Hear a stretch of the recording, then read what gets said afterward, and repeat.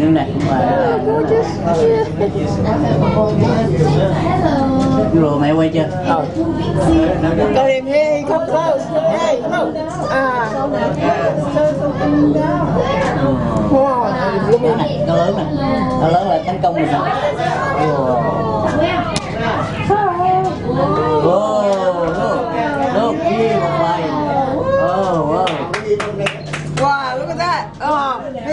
Coming from the left.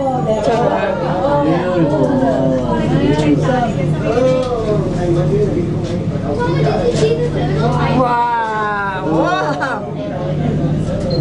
wow Wow. come on me. oh đàn nhỏ đi theo nữa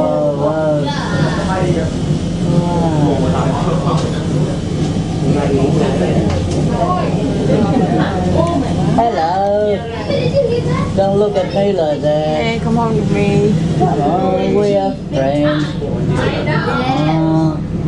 Oh, oh, man. See that turtle? Yes.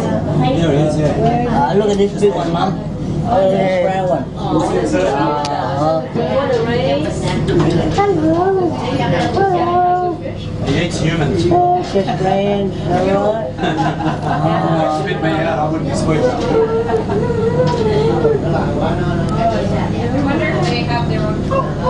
Okay, so there's a fish here, or there's a couple of them here, like a silvery grey with black spots. They're called a tea leaf trevally. The reason they call that is because it looks like somebody spilled a pot of tea over their back. Of course, the blue fish with yellow tails and goose ears.